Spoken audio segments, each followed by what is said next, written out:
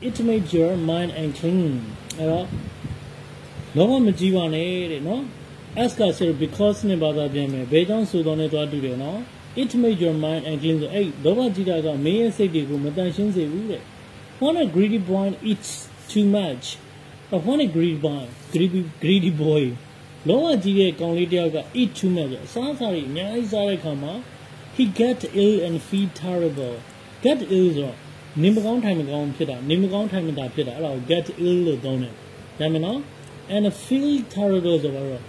သူမကောင်းတာပေါ့ terrible ဆိုတာက very bad ပဲအလွန်ဆိုးဝါးဆိုအလွန်ဆိုးဝါးတော့ပေါ့နော်အလွန်ဆိုးဝါးတော့ခံစားချက်ယူရတယ်အဘိုက်ကြီးရမ်းပြင်းနေမသိထိုင်မတာပဲဖြစ်တယ်နော်